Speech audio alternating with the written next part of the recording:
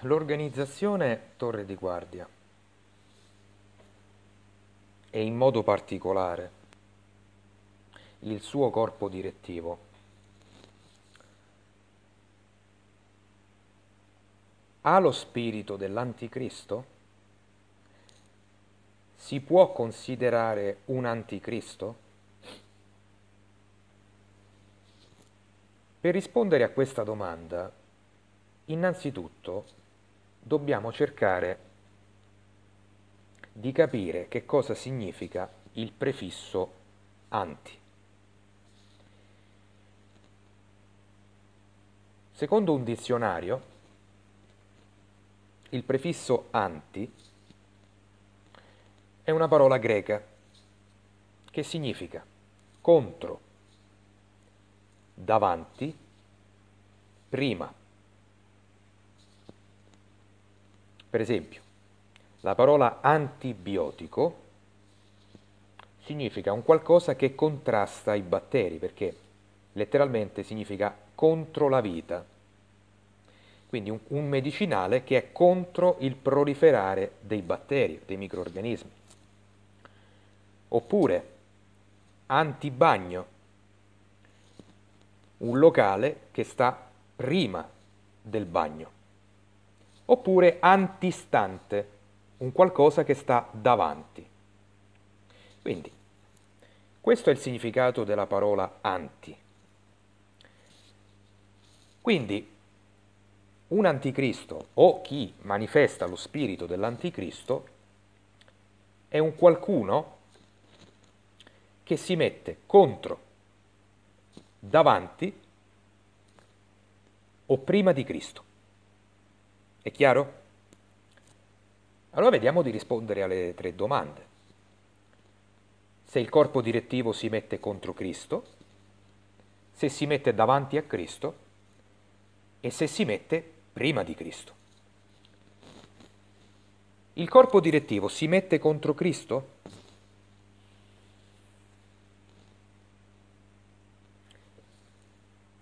Io vi elenco una serie di cose, valutate voi la risposta. Come ho detto altre volte nei miei video, il corpo direttivo dei testimoni di Geova, l'organizzazione,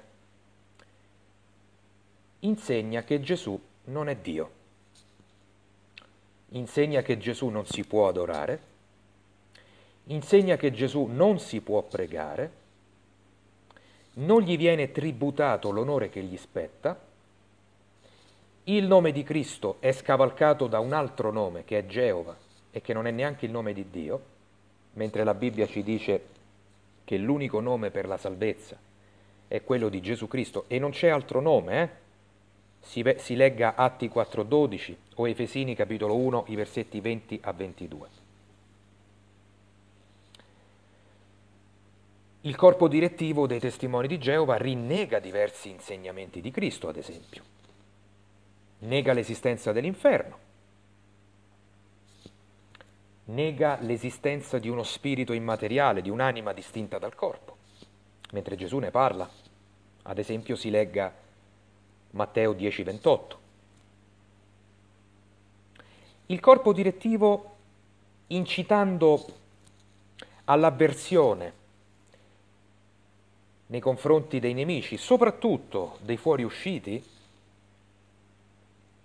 etichettandoli, stigmatizzandoli con eh, gli aggettivi che già molto probabilmente sapete, sta dimostrando di non avere ben chiaro l'insegnamento di Cristo di amare i propri nemici e di pregare per quelli che vi perseguitano. Si è molto più indulgenti, ad esempio, con un molestatore di bambini che con un fuoriuscito, tanto per fare un esempio. Il corpo direttivo, ad esempio, nei suoi insegnamenti rinnega la croce, perché per i testimoni di Geova uh, la croce non è, strumento, non è lo strumento su cui Gesù è stato immolato e sacrificato per noi. Si è sacrificato per noi, ma è un palo. Inoltre questa organizzazione manifesta un elevato controllo psicologico e mentale in ogni singolo aspetto della vita dei suoi fedeli. Questo è un qualcosa che invece Gesù condannava. Si veda ad esempio le migliaia di regole e regolette che Gesù rimproverava ai farisei, quando diceva loro, rimproverandoli, che mettevano carichi sulle spalle della gente e loro non li volevano muovere neppure con un dito. Inoltre il corpo direttivo induce a predicare un Vangelo diverso e distorto rispetto a quello che ha lasciato insegnato Gesù e successivamente gli Apostoli. Questa organizzazione insegna la distinzione di classi fra credenti. Ci sono credenti che vanno in cielo, credenti che rimangono sulla terra, inducendo i suoi seguaci a rifiutare il, pas- il pane ed il vino, che rispettivamente sono il corpo e il sangue di Cristo, alla commemorazione annuale, eccetto, fatta eccezione di un numero chiuso di persone. Anche qui vanno contro gli insegnamenti di Cristo.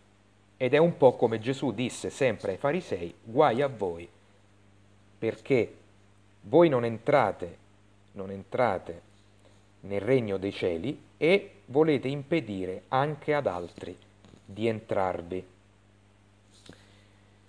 Quindi, ricapitolando, il, il, corpo direttivo si mette contro Cristo alla luce di, queste, eh, di, questo, mh, di questi aspetti, ognuno di voi si dia una risposta. Il corpo direttivo si mette davanti a Cristo, perché abbiamo detto che anticristo significa anche mettersi davanti a Cristo. Beh, c'è da dire innanzitutto, come già ho detto in altri video, che ad esempio le, vedasi la formula battesimale, soprattutto l'ultima che è uscita, come viene somministrato il battesimo all'interno di questa associazione. È un battesimo completamente diverso eh, rispetto a quello che Gesù invece comandò di fare nel Vangelo di Matteo, al capitolo 28, il versetto 20. Inoltre, anche se non in, non in, modo esplicito e diretto, ma in modo molto eh, subdolo, questa organizzazione nella, nel, nell'organo del suo corpo direttivo si pone in una posizione di mediatore tra l'uomo e Dio. Ripeto, non direttamente, ma in modo subdolo. Perché? Perché si è autoproclamato l'unico canale di Dio sulla terra, l'unico di cui dover seguire le interpretazioni della parola di Dio attraverso, delle, attraverso eh, le migliaia di tonnellate di pubblicazioni stampate o in formato digitale. In caso contrario, se non ci si attiene a queste interpretazioni, si viene tacciati di apostasia e si viene cacciati dalla congregazione.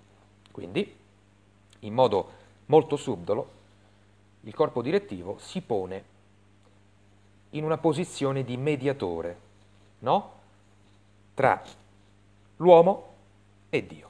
Anche se formalmente, a parole, insegna che l'unico mediatore è Cristo. Attenzione, eh? infatti ho detto, e lo ripeto per la terza volta, che questo è fatto in modo molto subdolo, non in modo diretto. Il corpo direttivo inoltre si pone in un ruolo di corredentore insieme a Cristo, anche questo, anche questo in modo subdolo, anche questo non lo fa in modo diretto, palese, plateale. Perché dico questo? Beh, perché quando l'organizzazione insegna che per avere la salvezza non si può prescindere dall'essere un testimone di Geova, quindi di far parte formalmente dell'associazione Torre di Guardia, e beh, a quel punto ti stai mettendo in un ruolo di corredenzione insieme a Cristo. Mentre invece Gesù ci disse che è Lui la via, la verità e la vita e che la salvezza ci è data per grazia mediante la fede nel suo nome. Quindi il corpo direttivo, ricapitolando, si mette davanti a Cristo? Anche qui, alla luce dei fatti, lascio a voi la risposta. E infine, il corpo direttivo si mette prima di Cristo?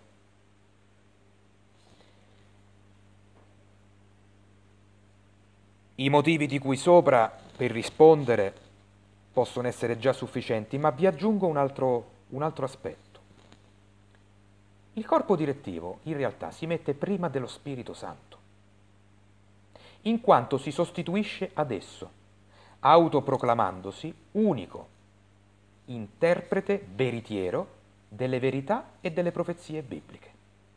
E siccome, come dice la Bibbia, in 2 Corinti 3:17, il Signore Gesù è lo Spirito, mettendosi prima dello Spirito Santo o al posto dello Spirito Santo, si mette prima di Cristo. Addirittura dall'ultima formula battesimale, quella più recente, lo Spirito Santo non se ne fa più menzione. È sparito. Infatti la triade, la Trinità geovista è Geova, Gesù e l'organizzazione col suo corpo direttivo. Quindi, alla fine di questo video, torniamo alla domanda retorica iniziale. Il corpo direttivo che governa, gestisce l'organizzazione dei testimoni di Geova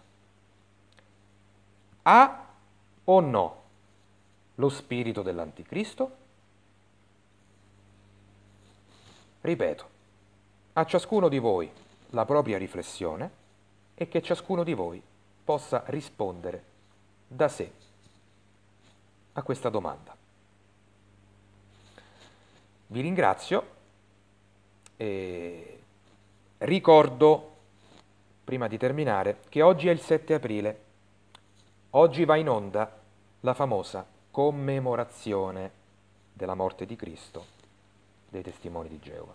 Sono sicuro che molti che stanno guardando questo video siano stati invitati a vederla online perché ovviamente, per ovvi motivi, i testimoni di Geova non possono riunirsi fisicamente. Ve lo ricordo. E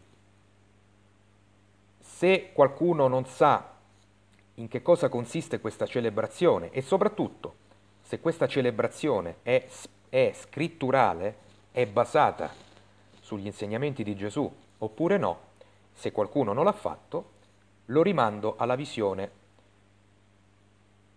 dei video su questo canale che parlano proprio della commemorazione della morte di Gesù così come viene celebrata dai testimoni di Geova sperando che possa esservi in qualche modo utile. Io vi ringrazio, eh, vi saluto, vi mando un abbraccio e alla prossima.